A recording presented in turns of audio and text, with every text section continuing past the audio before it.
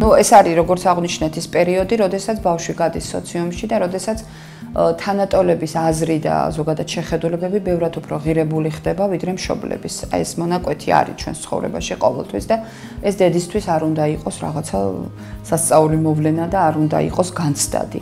აქაც იქამდე მივდივართ, რომ კარგია რაღაც ელემენტარული განათლება გქონდეს ამ მიმართულებით და წაკითხული გქონდეს, თქვა რა პრობლემებს აწყდება ამ დროს ბავშვი, იმიტომ რომ იმ CGUT-ის იმ გაუცხოების გარდა ბავშვი ძალიან ბევრ პრობლემას ებრძვის საკუთარ თავში თვითონაც და იმის მაგრად რომ მივეხმაროთ ხანდახან პირიქით დედები იქით არიან დასახმარებელი, ხო, იმიტომ ვერ ეწყობიან და ვერ ერთვებიან ამ ახალ რეალობაში. გონიათ რომ ისევ ბავშვია, ისევ კონტროლი უნდა ისე მისი კალთის ქვეშ უნდა იყოს რეალურად ბავშვს მეტი თავისუფლება ჭირდება და სხვა ურთიერთობები.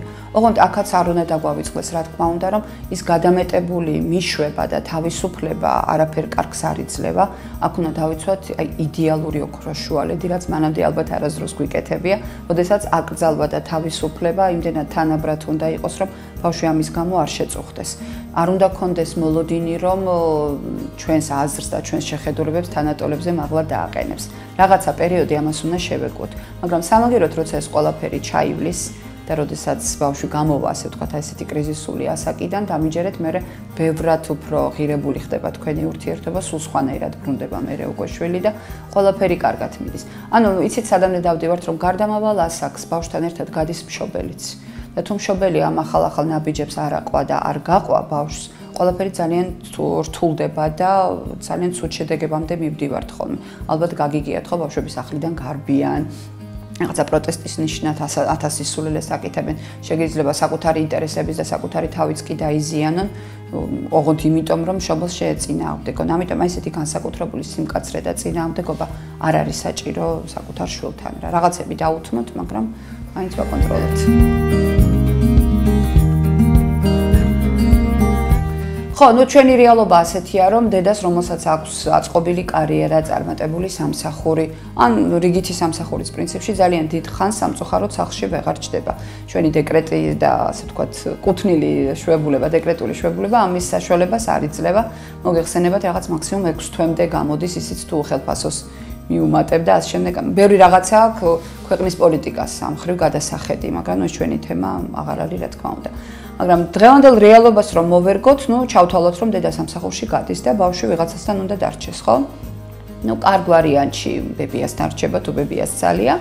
მეორე ვარიანტი თუ ბებიაც მუშაობს, ანუ უბრალოდ ამის საშუალება არ აქვს, იძულებული ხდებით მიმართოთ ძიძებს. ხა ძიძას თავისთავად მე ერთნიშნულად არ შემიძლია გითხრათ რომ რაღაცა ძალიან კარგია ამ ამბავში ან ძალიან ცუდია. რა თქმა უნდა იდეალურ ვარიანტში შვილი დედა უნდა გაზარდოს, მაგრამ ნუ არ გვაქვს ეს იდეალური სიტუაცია.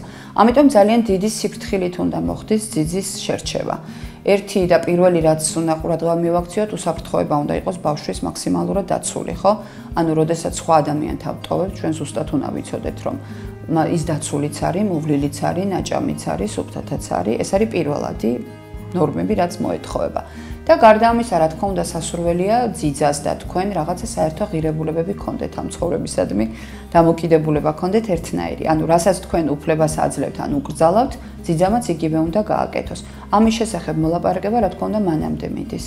მანამდე თუ არა, პროცესში მაინც აღზრდის. ძიძა ვალდებულია გაითვალისწინოს თქვენი შეხედულებები.